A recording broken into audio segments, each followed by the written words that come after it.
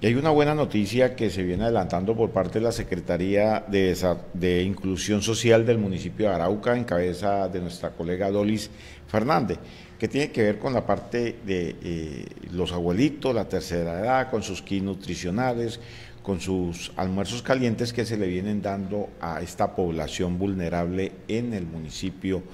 de Arauca. También habló sobre el tema del CICAT, allí en el centro donde se concentran la gran mayoría de las personas de la tercera edad y que son incluidas en estos programas de la Administración Municipal. Dolly Fernández, secretaria de Inclusión Social del municipio de Arauca.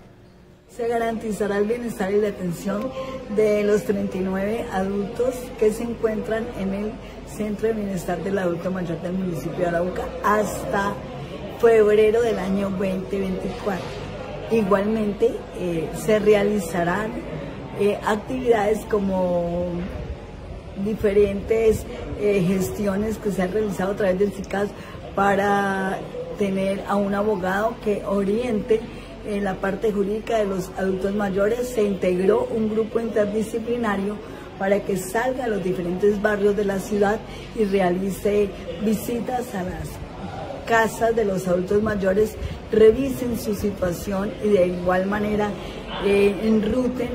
la ruta de atención al sistema de salud y otras actividades también. Serán las capacitaciones en cuanto a eh, elaboración de chinchorros, culinaria, mm, decoración de elementos para Navidad y otras capacitaciones de acuerdo a la concertación que se realizó con ellos Aquí se les entregarán los insumos y las herramientas para que puedan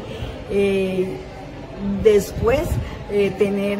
insumos para la venta de estos productos. Lo más importante que se está realizando en este proyecto es la entrega de las raciones servidas. Serán 1.104 diarias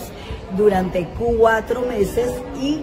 eh, durante tres meses se entregarán en el área rural eh, kit de alimentación. Cabe aclarar que es la primera vez que un alcalde municipal eh, despliega su gestión hasta el área rural, garantizándole durante tres meses eh, los kits de alimentación y durante los cuatro meses siguientes, hasta el 31 de diciembre, se garantizarán las raciones servidas que serán entregadas en distintos centros de atención ubicados y concertados con la comunidad para que les quede cerca y puedan acceder a este beneficio.